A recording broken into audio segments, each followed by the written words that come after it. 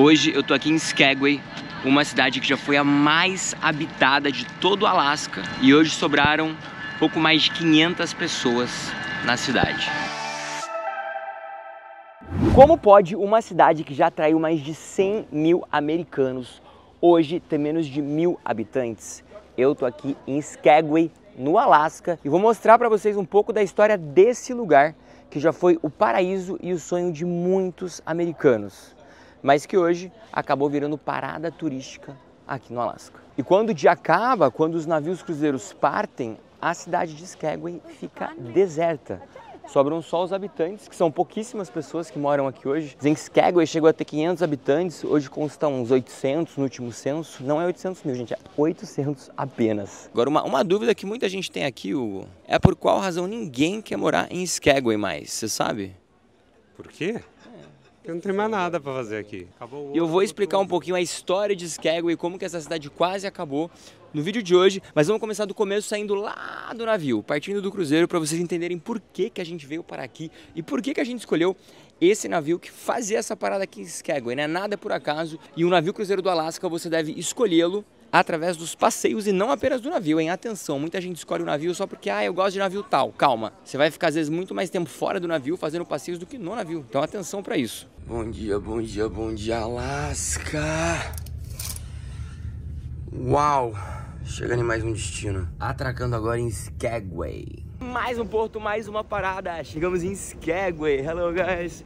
Skagway é uma cidade micro também, tem menos de mil habitantes e ela surgiu em 1897. Era um distrito, virou cidade, agora é um dos 18 distritos aqui do Alasca. E esse lugar é muito famoso e épico por causa do passeio de trem o passeio panorâmico de Skagway. Você tem que fazer, já colocar na sua lista para quando você vier aqui pro Alasca. Nós temos lá da frente para levar a gente pro trem. Gente, eles são muito organizados. O pessoal bem humorado, feliz, Melhor organizado.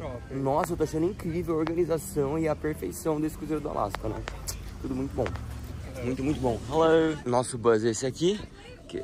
Uh, Skagway Train, yeah. Yes, you guys are with me. Perfect. Yay, thanks, Carrie. Esqueceu o passaporte porque aqui a gente vai entrar no Canadá, então tem que ter o visto canadense e o passaporte válido, hein? Chegamos.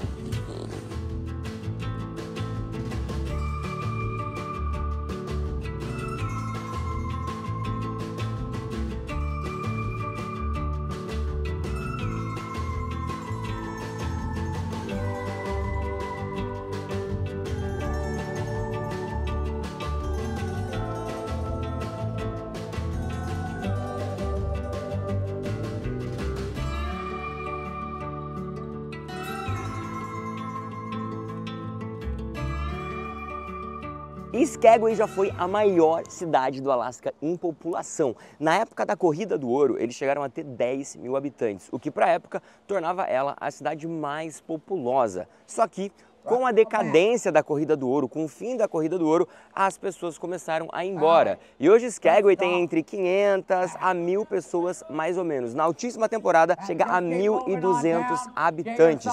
Já na baixíssima temporada, 500 pessoas. É muita pouca gente. Uma coisa curiosa é que aqui você pode ó, pegar seu próprio ouro. Nesse passeio que a gente está fazendo, você visita uma fazenda de mineração, onde os mineiros vinham de vários lugares dos Estados Unidos, principalmente São Francisco e Oregon, atrás do sonho dourado, do sonho do ouro. Só que uma curiosidade é que para eles virem para cá e poderem colher o seu ouro, pesquisar o seu ouro, buscar o seu ouro, eles tinham que trazer uma tonelada de alimentos. Eles tinham que garantir os suprimentos do ano inteiro. Então, olha que loucura, eles tinham que carregar uma tonelada de alimento para poder chegar aqui, senão a prefeitura, não havia nenhuma cidade direito, mas senão o pessoal que morava aqui não aprovava. A época do auge do ouro foi no finalzinho do século XIX.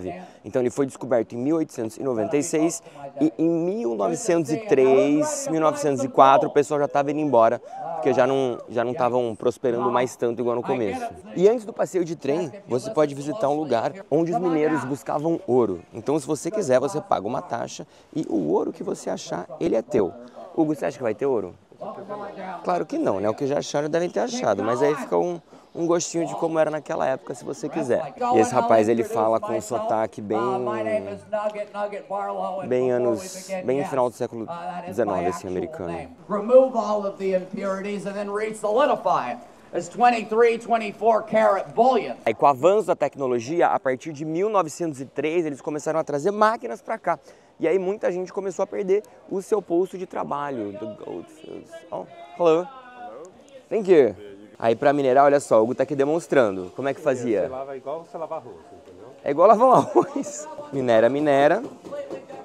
Dá uma inclinadinha a 45 graus. Pega mais água, não acabou, não acabou. É como se você fosse limpando para achar o ouro. E aí os sedimentos que são mais leves, eles vão indo embora e o ouro vai ficando porque ele é o mais pesado de todos os minérios, né? Então aqui na região você ver que o que vai ficar para baixo é o minério mais pesado deles, que tem aqui que é o ouro. Tan, tan, tan. As famosas pepitas que eles querem encontrar. É, o Hugo acabou de ser elogiado pelo nosso ator aqui. Estevão, mas ele não é um minerador mesmo, não, gente. Ele é um ator, hein? Surpreende todo mundo.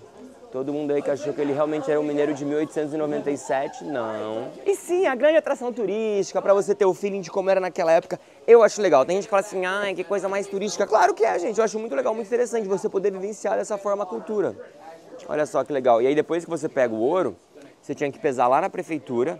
Então, eles simulam aqui como se fosse um vilarejo antigo, né? Como se fosse Skagway há mais de 100 anos, há 126 anos. Então, ali, ó, clínica, escolinha, lojinha, um hotel e a prefeitura. Na prefeitura, lá eles pesavam ouro porque, apesar do Alasca ser a terra prometida para você ficar rico, encontrando o seu próprio ouro, eles controlavam para saber quanto de ouro estava saindo daqui. E essa foi, aliás, uma das razões que fez é, o povo do Alasca começar a se revoltar no começo do século XX, porque o Alasca não era um estado americano. O Alasca não podia votar, o Alasca não tinha nenhuma cadeira no Senado, o Alasca não tinha nenhum direito como um estado americano, mas estava ali, ó, começando a encher o bolso do país pagando seus impostos. Então, após muita luta e batalha, o Alasca torna-se o 49º estado americano e ele começa a fazer parte dos Estados Unidos da América, só em 1959. Gente, isso é muito tarde. E anos depois, na década de 70, que o governo americano finalmente declara uma lei para compensar os povos nativos originários, que seriam os First Nations. Então, as pessoas que muitos chamam de esquimós, né, que eram dessa região aqui do Ártico, na verdade são vários povos diferentes, de várias etnias diferentes, e muitos deles, infelizmente, foram explorados, como acontece né? Tristemente, em vários lugares do mundo, o Alasca não foi o único lugar onde isso aconteceu. A gente teve isso, né? Infelizmente, vários lugares das Américas, da África, Ásia, essa exploração. E aqui no Alasca, na década de 70, começaram a compensar essa exploração com benefícios aos nativos. Então, desde benefícios onde somente eles poderiam fazer algumas explorações comerciais diárias, é, benefícios fiscais, dentre outros. E voltamos aqui para ver. E aí, Hugo, achou alguma coisa? Não nada, tô Nada? Ai, gente, vamos lá. Minha vez agora. Ai, a água tá quentinha ainda, gente. Que delícia. É isso, agora eu vou lá na prefeitura pesar meu ouro, meu filho, e ver o que vai acontecer. Ah! Clac. Agora sim. A gente vem aqui, ó. Pese o seu ouro.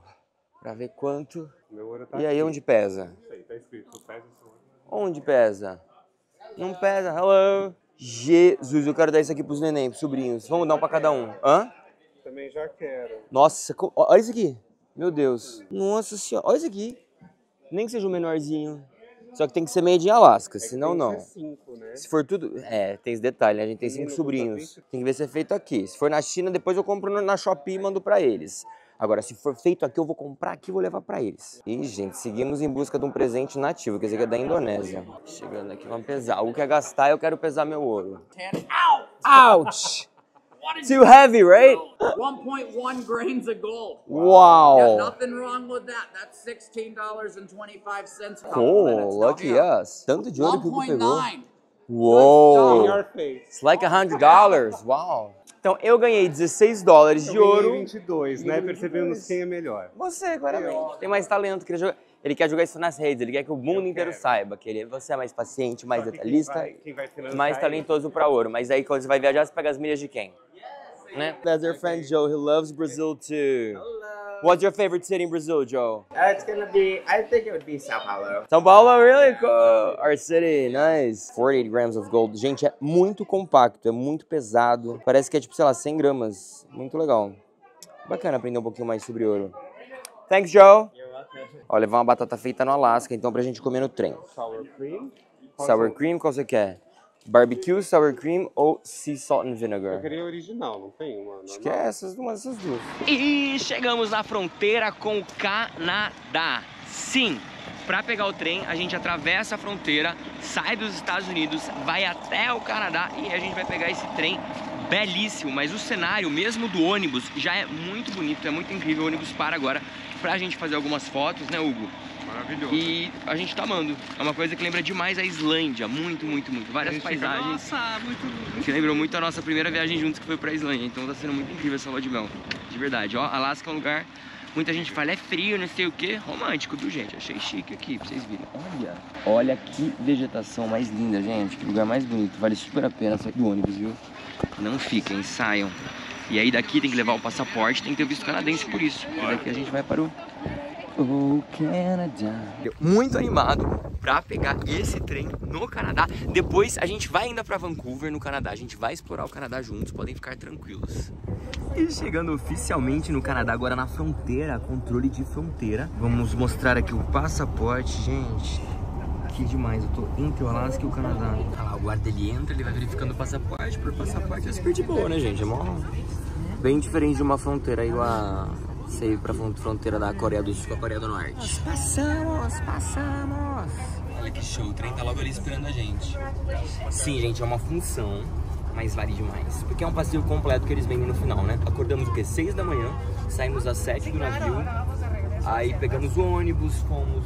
Onde que a gente foi? Passeamos pela cidade, fomos no Treco do Ouro, fomos agora essa pista linda e uma hora dirigindo, mais ou menos, com 50 minutos. E agora bem na fronteira aqui, ó, legalmente no Canadá. Ai, que lindo, gente.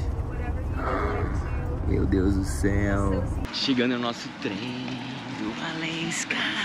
Gente, o trem é belíssimo, muito bonito. E é bem vintage, né? Chegando aqui, esse aqui é o nosso vagão, olha só.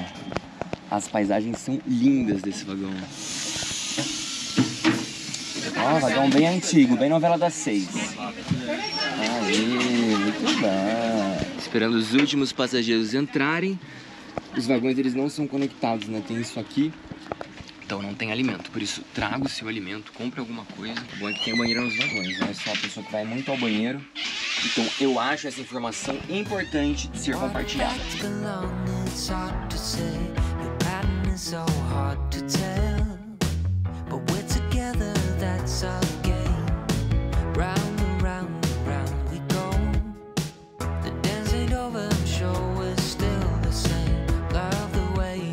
Já no trem, hora de provar o salgadinho feito aqui no Alasca. Hum. Será que é bom? Tá na barrinha. Tá boa a barrinha? Acabou. Boa. Vou provar o salgadinho. Muito bom. Mas o mais lindo aqui são os cenários aqui. O nome desse trem é White Pass e Yukon Route. Essa ferrovia tem uns 150 quilômetros e ela é muito bonita. Ela foi feita para ajudar os trabalhadores, né, os mineiros que vieram para cá na época da Corrida do Ouro. Então ela começou a ser desenhada em 1897, ficou pronta em 1900, então assim, cerca de dois anos para ficar pronta essa ferrovia e ela custou só 10 milhões de dólares na época, o que de fato também não foi tanto pensando no super projeto que foi desenvolvido. E essa ferrovia, junto com a Torre Eiffel e a Estátua da Liberdade, ganhou prêmio como uma das grandes obras de engenharia civil da humanidade. Foi uma ferrovia que surgiu por uma necessidade de transportar cargas, produtos, pessoas e ouro. E hoje em dia é uma ferrovia 100% turística. né? Eles já não usam mais isso aqui para transporte de cargas e nem para viagens de verdade. É muito mais para você apreciar esse cenário que fica bem na fronteira entre o Canadá e os Estados Unidos.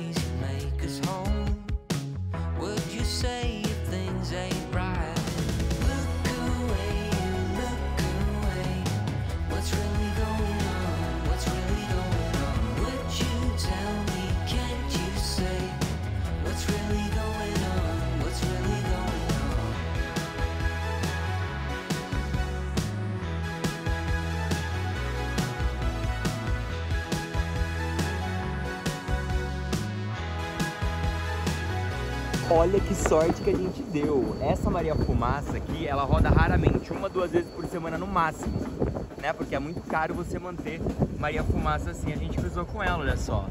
Tananã, tananã. Eu tentei pegar esse da Maria Fumaça, mas ele esgota muito, muito, muito, muito rápido esse passeio. E a maioria dos passeios são nesse aqui, que é o trem elétrico, né?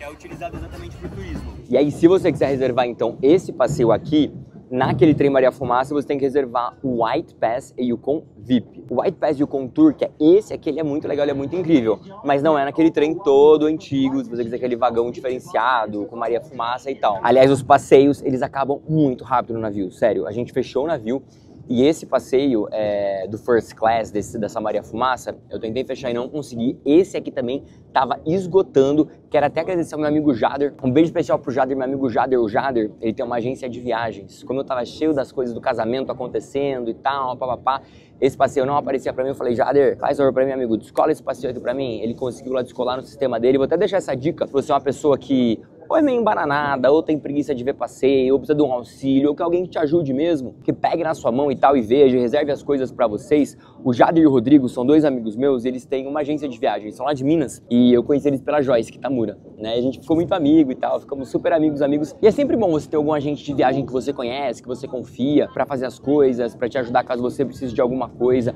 Principalmente a gente que viaja muito, que tá sempre na estrada, às vezes alguma urgência, algum acesso exclusivo, pode ser que eles tenham, entendeu? Então, fica aí a dica. E um beijo pros meus amigos, viu? Valeu demais por terem ficado de olho nesse passeio.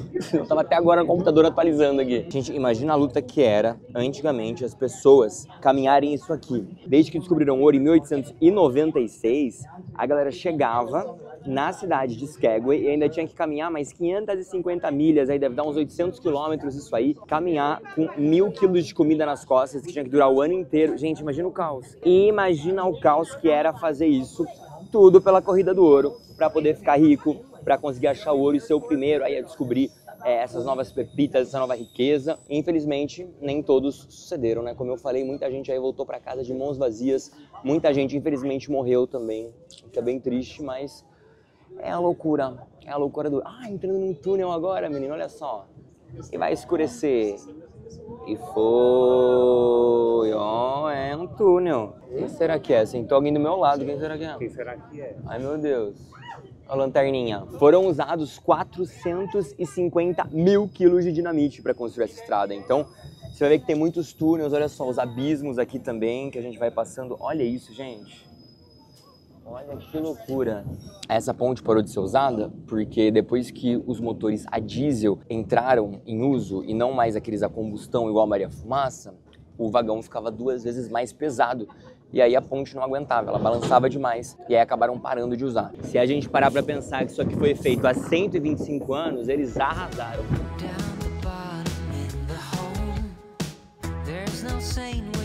down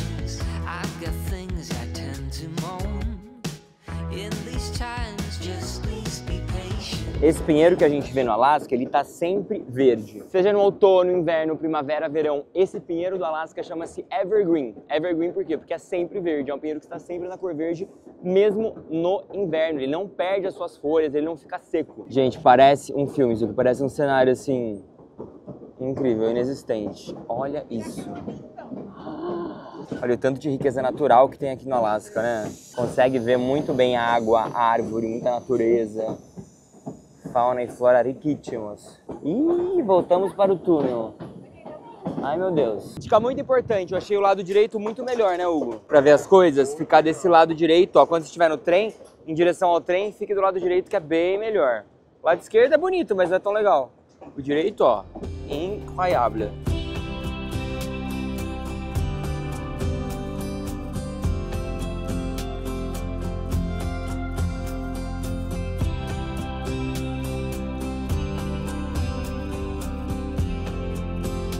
Vamos agora para 13 curiosidades sobre o Alasca que você não sabia. E o Alasca só foi mesmo descoberto em 1741 por Bering. Bering é o mesmo que dá o nome àquele estreito de Bering que a gente aprende no colégio, né? Como que os humanos chegaram na América? Através do estreito de Bering há milhares e milhares de anos. Sim, esse explorador chamado Bering é o responsável por ter descoberto o Alasca e também dar nome a este famoso estreito. O Alasca é um estado que não cobra imposto de renda. 35% de todo o Alasca é coberto por florestas. As primeiras casas do Alasca só foram construídas em 1900 1914. Então, se você parar para pensar, nenhuma casa aqui tem mais do que 125, 130 anos. Se não fosse o garimpo e o petróleo encontrado aqui, o Alasca provavelmente continuaria sendo um estado extremamente esquecido e pouquíssimo habitado. Isso porque atualmente ele já conta com bem menos de um milhão de pessoas. Imagina se os garimpeiros não tivessem vindo até aqui e desenvolvido a região. Mais de 80% da população do Alasca recebe royalties sobre a exploração do petróleo. Além disso, muitas pessoas que vieram aqui na época da corrida do ouro simplesmente pegaram um pedaço de terra, determinaram como sendo seu e até hoje pertence às famílias que sucederam a essa pessoa. A temperatura média mínima no Alasca é de menos 24 graus e a temperatura máxima média é de 16 graus, ou seja, é um lugar frio do cão. E apesar de a média no inverno ser de menos 24 graus, já chegaram a registrar menos 62 graus. Tem noção do que é isso? Porque eu não tenho nem ideia. Já no verão, o Alasca também registrou mais 31 graus, sim, 31 graus Celsius positivos, o que é uma temperatura bem quentinha para o verão aqui. O Alasca é o único estado aqui dos Estados Unidos que é banhado por três mares, o Ártico, o Pacífico e o Bering. Aproveitar e contar uma curiosidade para vocês aqui do Alasca, que é cheio de mistérios. Falam que tem um local aqui chamado Triângulo do Alasca, onde 16 mil pessoas já sumiram misteriosamente, como se fosse uma espécie de Triângulo das Bermudas, sabe? Ninguém sabe porquê, mas acontece. Estamos chegando no porto. Sim, a gente subiu milhares de metros e agora estamos descendo milhares de metros. Olha que ferrovia doida, né? Conseguiram erguer isso aqui montanha acima, saindo lá do porto. Deixa eu voltar pro meu assento.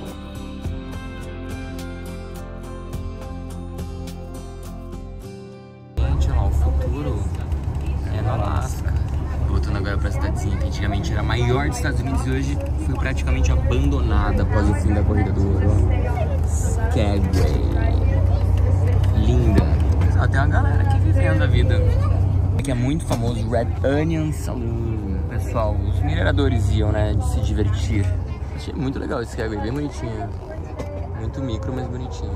Skagway hoje no Alasca é uma parada obrigatória para quem quer ver um cenário bonito, para quem quer ver paisagens e fazer o passeio de trem mais famoso do estado. Agora, uma coisa que pouca gente fala é sobre a razão de Skagway ter ficado tão deserta. A cidade era tão importante que cerca de 100 mil pessoas chegaram a largar tudo nos Estados Unidos e vir rumo a Skagway para buscar ouro, riqueza, prosperidade. A única coisa que faz essa cidade aqui seguir existindo hoje é o turismo. Dizem que se não houvesse o turismo, talvez Skagway estaria hoje dizimada e teria desaparecido. Hoje, vários cruzeiros param por Skagway, não todos, mas alguns cruzeiros param por aqui. Eu acho que é uma parada incrível, porque o passeio mais bonito de trem que tu pode fazer aqui pelo Alasca é um trecho que sai aqui de Skagway. Agora, o engraçado é que não tem absolutamente nada para fazer aqui. A cidade inteira ela é composta por 24 quadras nessa direção e quatro quadras nessa direção. Então é como se fosse um bairro,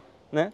Mas tem umas 20 e poucas lojas de joias. Nem um bairro. E tudo que a gente vê são lojas de joias, muito ouro. Até hoje, olha só, o Alasca comercializa muito, muito, muito, muito ouro por aqui. Ó, aqui a gente consegue ver a ponta do navio, né? A frente de um navio. Esse não é o nosso, é um outro cruzeiro que parou aqui.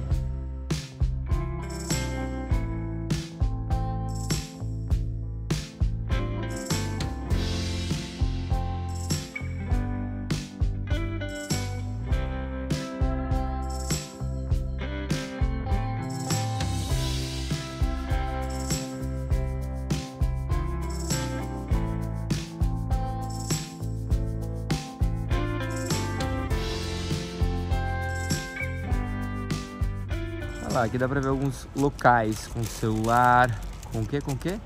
Com o seu doguinho, olha só que coisa mais legal. E, gente, aqui literalmente todo mundo se conhece, é menor que, um, que muito colégio.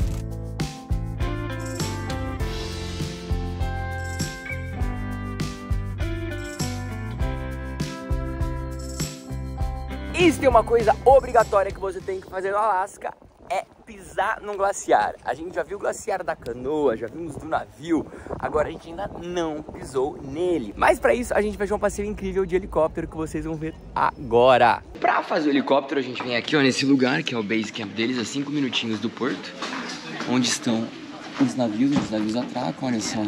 Eles têm aqui ó Uma super área com vários helicópteros. Bem jóia. Gente, eu tô muito animado. A gente vai uma geleira de helicóptero. Que loucura é essa? Pousar numa geleira de helicóptero. Tá animado, Hugo? Eu tô super. Gente, vai ser sensacional esse passeio. Todo passeio eu falo que é o passeio mais legal, mais especial do Alasca, né? Porque são muitos passeios incríveis. Agora eu vou falar que o do helicóptero era o mais aguardado. Falei que era o da baleia, depois eu Cada falei dia que uma era o, novidade. era, o, era o trem. Não, era o helicóptero. Pronto, já decidi. Gente, vai pisar num glaciar.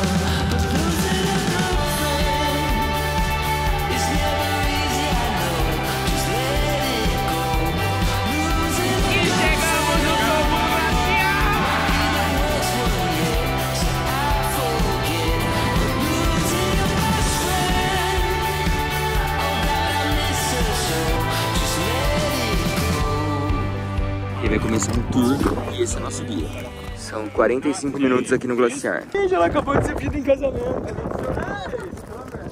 Acabou de falar um super pedido de casamento ali, que legal. Ah, eu sigo aqui, gente, esse lugar é surreal, parece um todo filme. Isso aqui não parece de verdade, olha isso, gente. Que que é isso? Não, meu, que que é isso? Meu Deus! Ah, nem falei, né? Mas a gente recebe umas botas, tem uns pregos, tá vendo? Pra no, no gelo. Incluso no tour, no passeio. Tourzinho rápido pela bota, então pra vocês entenderem, é uma bota especial que vai em cima do tênis. Ó, o tênis tá aqui dentro e eles dão essa bota que vai colado. Por isso que eu tô tranquilo aqui, caminhando pela neve. Eita, que colou até o tênis, entendeu? Mas ó, o tênis, ele tá aqui dentro. Tá bebendo uma aguinha glacial. Falam que a aguinha glacial é pura, né, menino? Até eu vou tomar uma aguinha pura do glaciar. Vamos ver o quão fria ela é. Ó! Menino. Gente, a Minalva do Alto Alasca. Vai, Hugo. E aí, amor, boa água? Olha, muito boa, hein? Boa. Mas agora a boca. Tá congelada a boca e a mão, socorro. Que lugar sensacional, gente. Um glaciar nada mais é do que um grande mar de gelo, né? Seria um monte de água congelada onde estamos caminhando. E a gente vê esse azul, já expliquei pra vocês, né? O glaciar, na verdade, ele recebe todas as cores. Só que o gelo, Ele acaba refletindo muito mais a cor azulada, porque as ondas da cor azul são um pouco mais curtas, acabam sendo as cores que mais reverberam. Assim como a gente vê o céu azul, o mar azul, e etc e tal. Tá gostando, Hugo? Tô amando. Lindo, né? Olha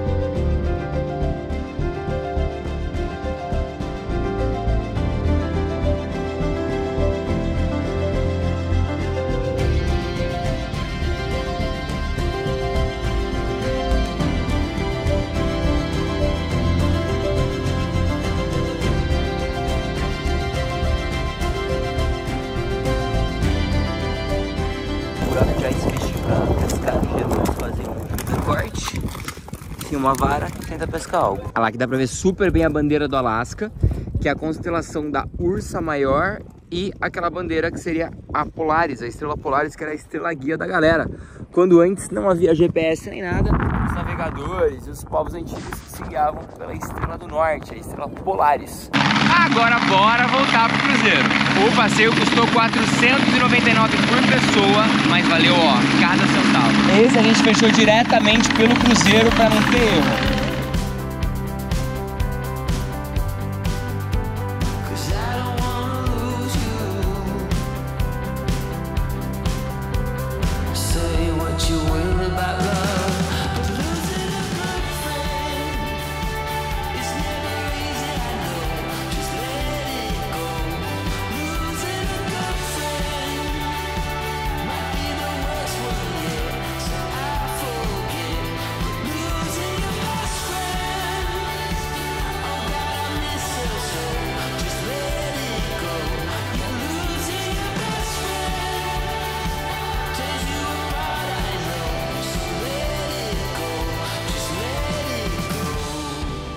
Se você está curtindo acompanhar a nossa série do Alasca, já deixa um like nesse vídeo, comenta o que você está achando desse lugar e fica ligado que vem muito mais conteúdo por aqui. E você nunca se esqueça que você é um ser humano incrível e pode chegar onde você quiser, até mesmo aqui, ó, na última fronteira.